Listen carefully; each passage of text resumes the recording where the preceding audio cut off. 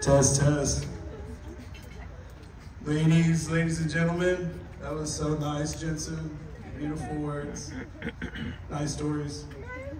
I'm Roberto, and uh, we're here to celebrate Derek and Youngshim.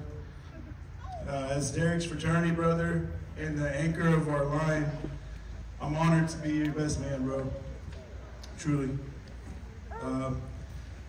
Derek has a thirst for knowledge that's that's inspiring.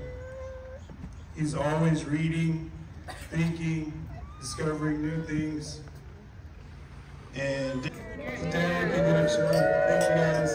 So, love you guys. Oh my god. Give a big round of applause, everybody.